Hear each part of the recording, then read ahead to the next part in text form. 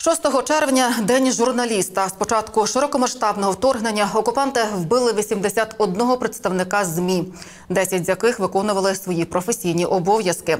Нині Україну боронять двоє журналістів медіахолдингу Сі 4 Тетяна Таран та головний редактор Петро Гайдащук. Чимало й інших наших боковицьких колег у збройних силах України.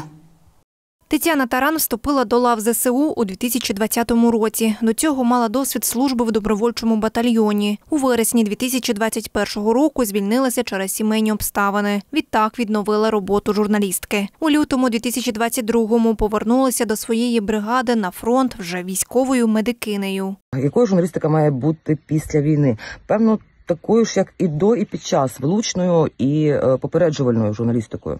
Якось так це я бачу. Зараз я себе бачу тільки на фронті, і поки не закінчиться війна, я буду на фронті.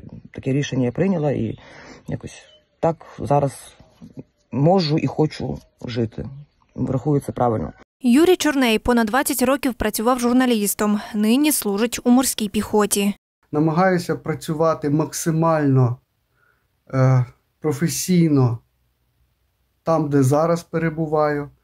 Можливо, якби я працював в якійсь прес-службі е, чи з інформацією, мій досвід 20-річний також став би в нагоді. Я намагався якимось чином ну, запропонувати ці свої послуги, е, але поки що мені не вдалося. Поки що командування бачить мене е, на цій ділянці роботи. Відповідно, я буду робити її до тих пір, поки зможу.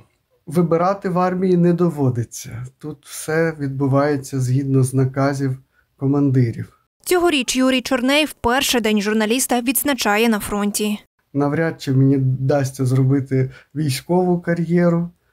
У будь-якому разі більша частина моєї трудової діяльності буде пов'язана з журналістикою. Тому я хочу запевнити вас, що це неймовірно важлива професія. Це професія, яка вкрай необхідна людям.